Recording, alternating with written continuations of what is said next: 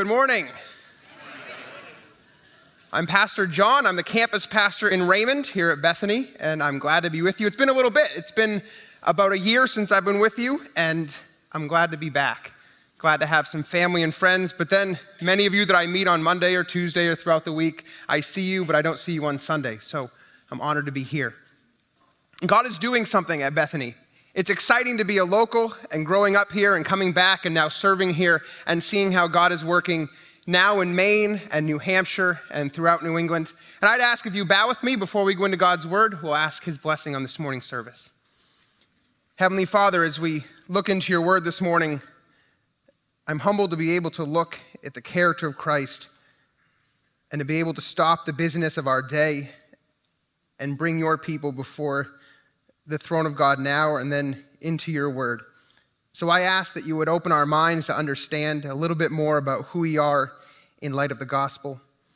May you help us to understand not only who we are, but then how you've called us to live because of that new reality we have in Christ. And we pray these things in Christ's name and for Christ's sake. Amen. Well, I'd like to start by showing you a picture. That is what is called a selfie. Now, I'm not a very crazy person, but my wife said, take a funny picture, and that's about as funny as I get. So that's a picture of my daughter Samantha and I, and the picture you see is one of millions that's on the internet. It's what's been dubbed today as the self portrait of our digital age. Today, probably all of you, let's say half of you, will see some sort of self portrait someone else is going to take with their phone and they're going to post it on the internet for the whole world to see. And I thought I'd start out this morning's service by taking a moment and reading for you a commentary on what a selfie is. Now, a selfie is simply starting with a picture taken by a camera or a smartphone. Now, I don't have my phone with me, but a smartphone is usually tilted about 45 degrees above your eye line because that's the most forgiving angle. And as I'm reading this, you're probably starting to say, yeah, that's what I do. So then you have a light source. Either it's a backlit window, or for many, it's a bursting flash from the camera in a mirror in your home. Now, you have to have an important pose. You want to have a good raise of the eyebrows to show self awareness a sideways smile, and then some people like to mess up their hair to make it look like they look beautiful and they just got out of bed. But then they take the picture. Now, afterwards, a flattering filter is applied. Outlines are blurred, colors are softened, tints soak through, and you sometimes have a nice tint that looks like a vinyl record or something from the 60s.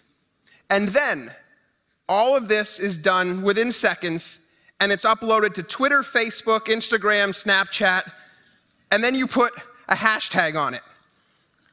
Now, as you think of this, this image I have not put online, but this image is retweeted, tagged, and shared, and your screen fills with thumbs up signs, heart shaped images called emojis. Now, you are liked several times over. You feel a shiver of what exactly? Reassurance. The author says existential calm. Whatever it is, it's addictive. Soon you repeat the whole process, trying a different pose. Again and again, you offer yourself up for public viewing. This then is the selfie, the self portrait of the digital age. We're all at it to some degree. Just type selfie into the Twitter bar or look at Instagram, where last night, to have the most update information, there are 305 and a half million photos with the hashtag me on the internet. So, ladies and gentlemen, this is the culture in which we live. For good or for bad, people in their cars, in their homes, wherever they are, in front of their supper or breakfast, they're hashtagging pictures not of society, not of the world, but of themselves. We live in a very self centered society, a society that calls to elevate the individual over anyone else. And in the midst of this society, our Savior Christ has called us to follow him, but not follow him out in front with our pictures, not out in front with our hands raised, but to follow him selflessly, to follow him humbly.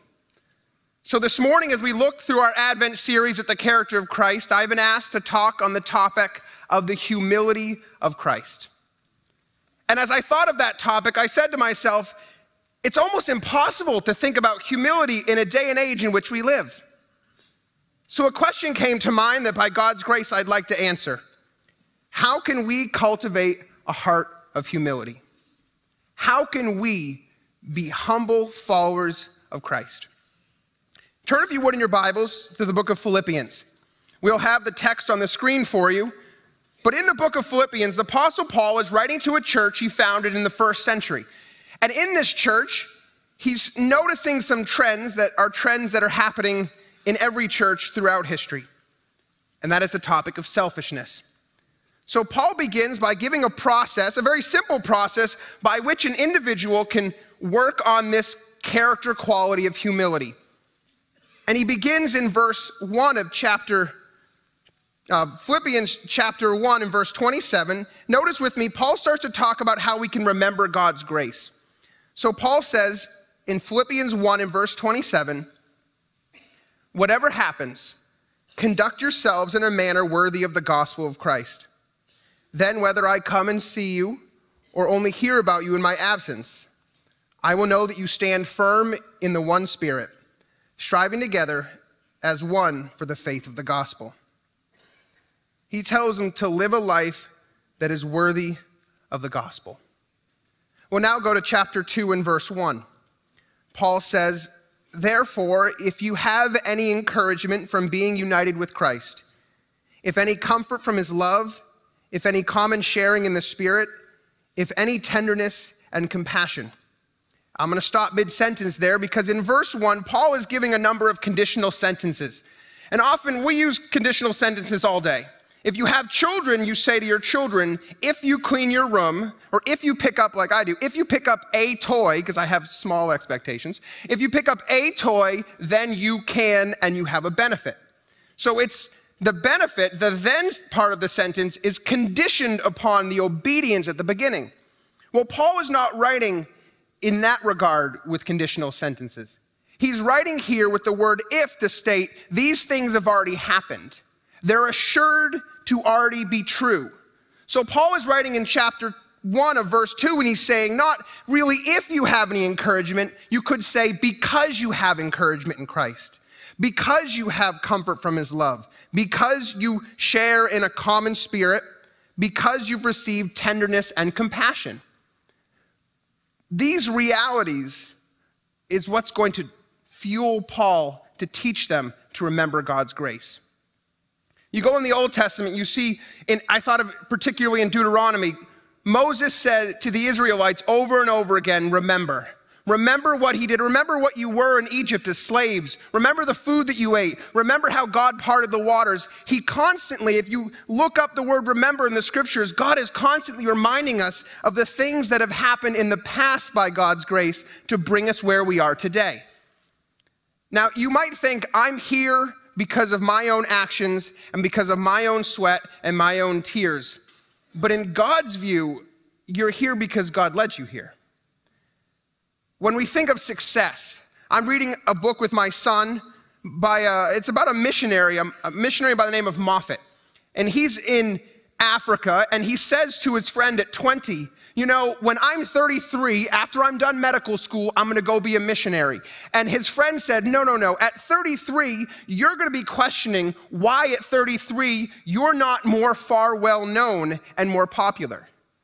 Because as we get older, we think we need to achieve success. And that success is built upon our own efforts and our own trials. But Paul is not telling them to look back at what they've done, he's telling them to remember God's grace. So, what I thought we'd do, before we go in and look more into God's word, I'd like to take 10 seconds and give you 10 seconds to just ask you, and I want you to think about God's grace in your life. Think about the things that God has done to lead you here. Those moments that, and you know you had no hope, but God and God answered. Those prayers that you prayed that God didn't answer. So, for 10 seconds, and I'll watch the clock, take a few seconds and think about God's grace in your own life.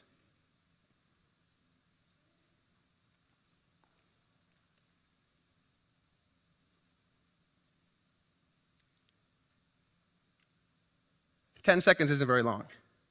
For someone that's standing up front, staring at a congregation, it feels like a long time.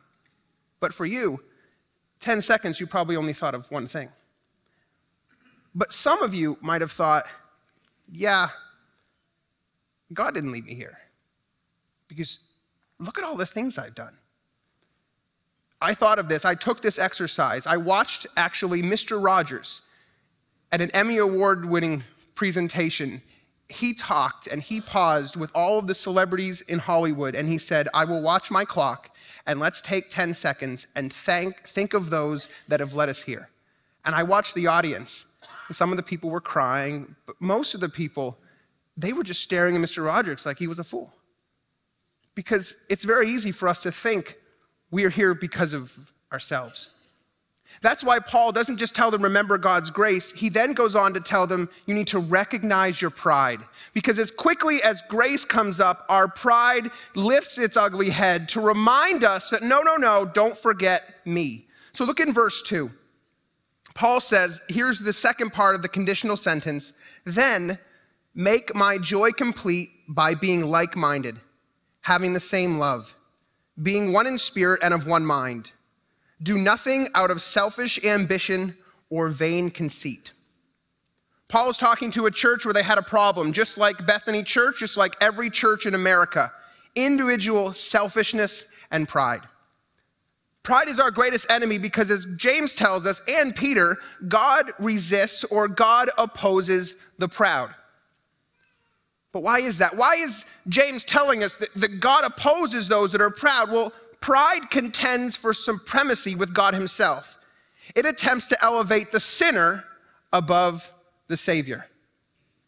In all of creation, God is to be preeminent. But when we walk around thinking we achieve something, when we're the focus point of our own lives, what we're telling uh, God is we're more important than Him we don't need him.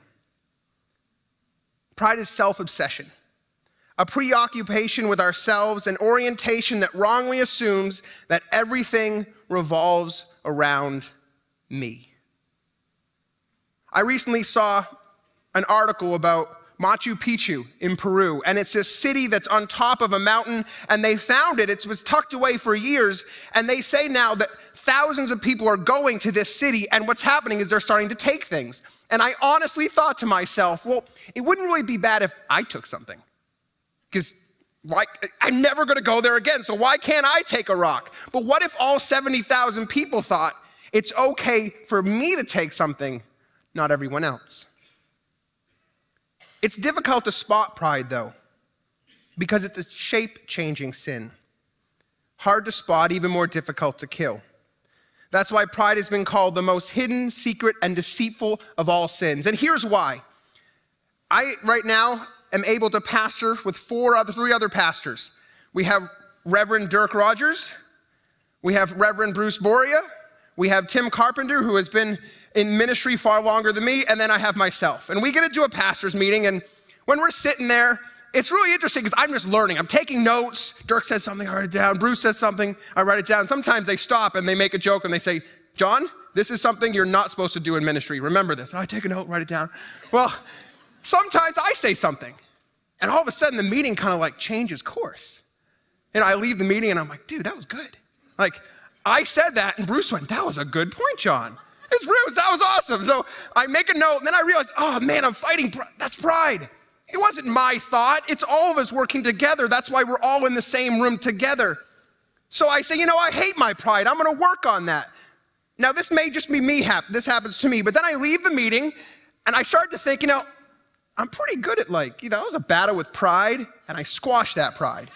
Like, really, this happens. You guys might say this may not happen to you. Then I'm like, you know, I wonder if those pastors know how much I'm struggling with pride, but how good I'm doing at struggling with it.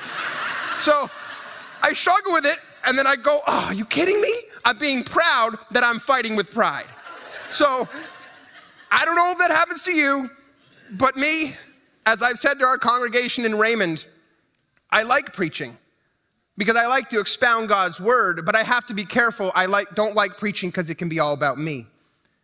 So we remember God's grace, but then we have to recognize our pride. But recognizing our pride isn't the only thing we can do. We then have to respond with humility. Let's continue reading in verse 3. Paul says, after telling them to not focus on their pride, he says, Rather, in humility, value others above yourselves, not looking to your own interests, but each of you to the interests of others. Now, the Greek word humility, like we have in English, lowliness of mind, the correct estimation of ourselves.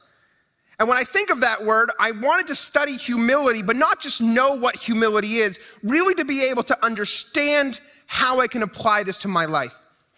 So, humility isn't just thinking too highly of ourselves. Like, okay, humility, I can't think too highly of myself, and I can't think too lowly of myself. I thought that's a good definition of pride. But then I realized excuse me, of humility, but humility is just not thinking much of yourself at all.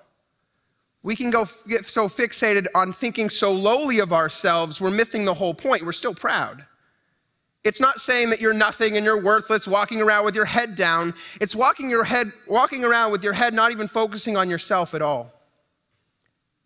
It's really fundamentally a form of self forgetfulness as opposed to pride's self fixation having a realistic sense of who we are before God and others.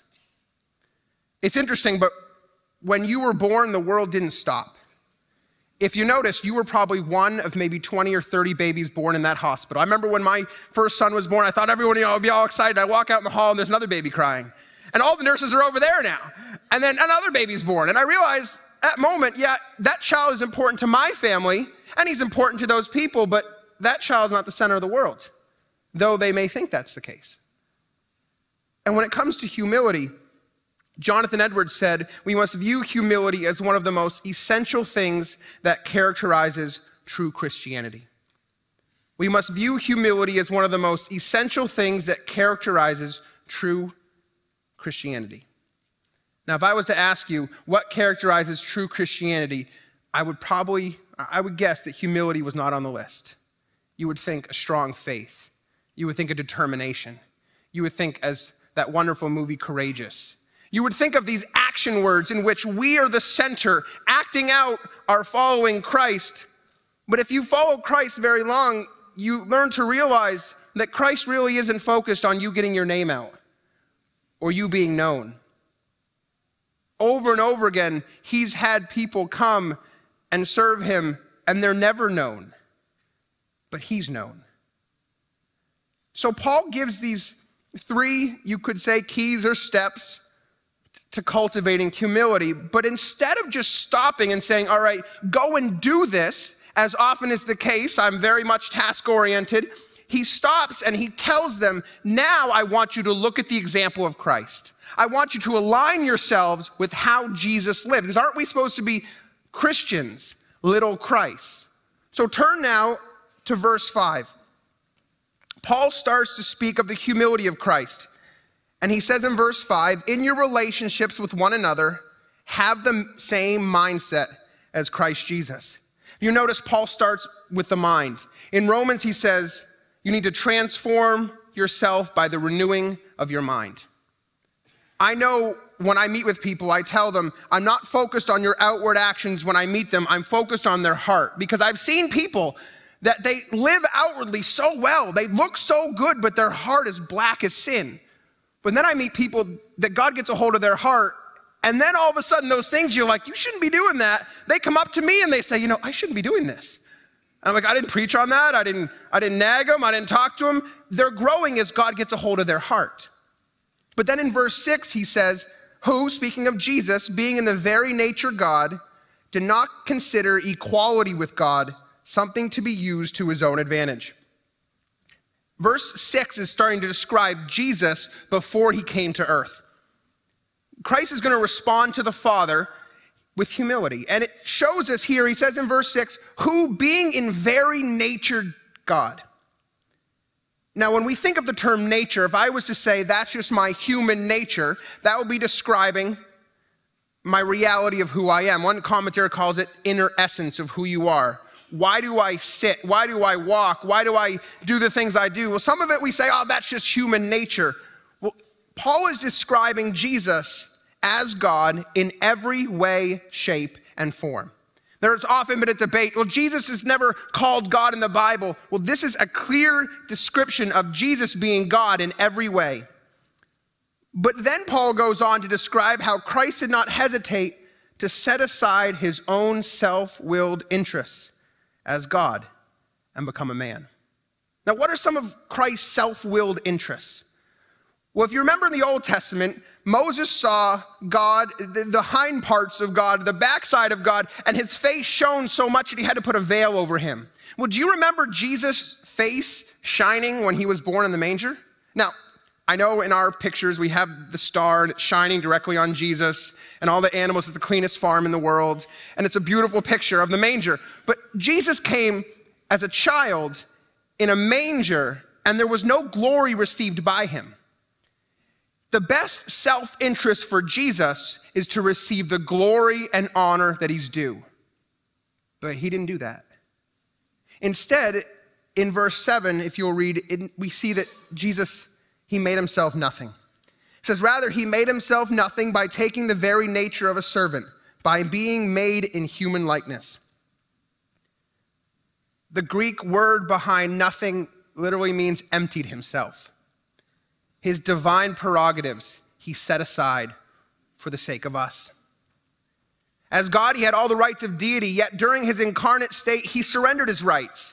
Now, if I was God and Pilate was to criticize or to harass me or to torture me, I promise you I would have lashed out at Pilate and ended this whole Christian story and we'd all be in heaven. But Jesus didn't do that. There's an old hymn, he could have called 10,000 angels, but he didn't. If I was on a cross, I have no right to call 10,000 angels, but Jesus had the right. And the Father could have said nothing against him because that was his right. But he gave that all up. He embraced perfect humanity. And notice, if you would, in verse 8, Christ, he learns obedience. It says, In being found in appearance as a man, he humbled himself by becoming obedient to death, even death on a cross. When I read this verse a few weeks ago, I've read it many, many times, I never noticed the phrase, two words, become obedient. Now, I sat there and I think, all right, what does that mean? Because as a child, I became obedient through, oh, through discipline. I was sinning, I was disobedient. My parents said, Do this. And then I said, No. And then something happened. And then I said, Okay, now I will be obedient. I went from sin, or I went from selfishness to obedience.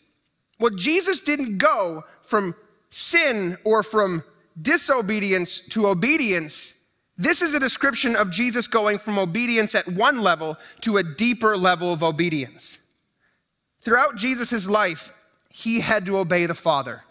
And it culminated with Jesus saying, Father, if you are willing, take this cup from me.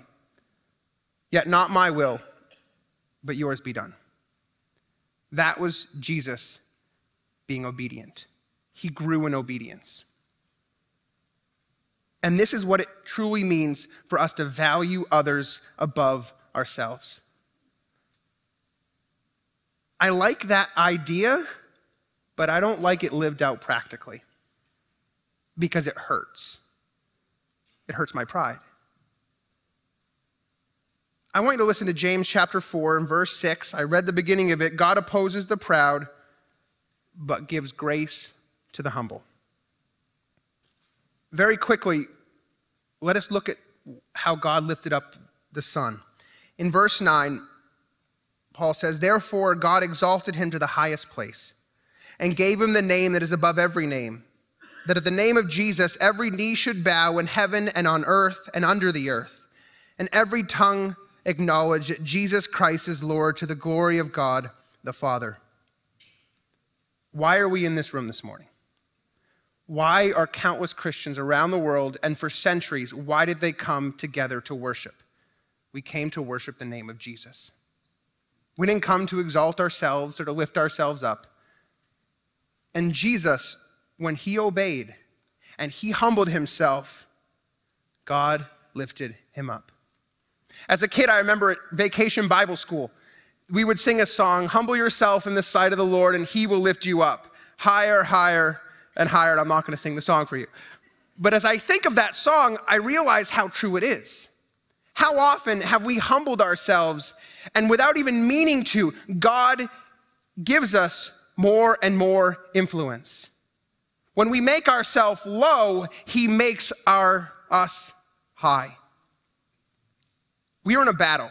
And for the last 18 months, we've been really pressing with you, as Pastor Tim said earlier, to be disciples and make disciples. But what I wanted to bring up this morning is that this calling of ours, we cannot allow ourselves to get too fixated on the task that we have to accomplish to the point that we look at ourselves and say, Look how good of a disciple I am. Look at how much I'm doing. Because all of us as pastors have talked about this. We know if this is going to happen, it's going to happen by people humbling themselves before God, seeking His face, and asking Him to do the work. We'll just be the mouthpiece. Now, if I was to ask you how many of you are going to go home and put a picture on Instagram or Twitter or Facebook, I'm not saying that's a bad thing. But I brought that up to begin with because cultivating a heart of humility does not happen overnight. And that's an example of how easily we can lift ourselves up. Cultivating a heart of humility is rather like peeling an onion. You cut away one layer only to find another beneath it that's even thicker and harder to peel back. The peeling is going to hurt. The peeling is going to take God humbling you, showing you who you really are. It's going to take us humbling ourselves before Him. I don't know about you, but I'd rather humble myself than God humble me because He's done it many, quite a many times, and I don't like it. But by God's grace, he will conform us to the image of his Son, and he will humble us. As we forsake pride and seek humility daily by submitting ourselves, humility will grow in our souls. It is well said that humility is not a grace that can be acquired in a few months, it takes a work of a lifetime. However, as we grow in humility, God will exalt all those who embrace it and increase their influence for the kingdom of God for we're all here for one purpose to exalt the name of Jesus. May we as a church arise to the calling he's called us to live. But may we arise as we humble ourselves before him and praise and glorify his name. Let's pray. Heavenly Father, I thank you that you've given me the opportunity to learn humility through the many examples in my life that you've brought me through. I thank you for these people and how they've come here to church this morning to worship not their own name, but to worship the name of your Son. And I pray that you would start to cultivate a heart of humility within us as we follow and look at the example of our Savior, who lived as a man who was tempted in all points as we are, yet without sin. And Lord, I pray that as you look into our heart of hearts and you hear our words, that may our words and our actions mirror and reflect only that of which is in our heart. And I pray, Lord, at the end of this day, that you will be the name that is remembered and glorified. It's in Christ's name that we pray. Amen.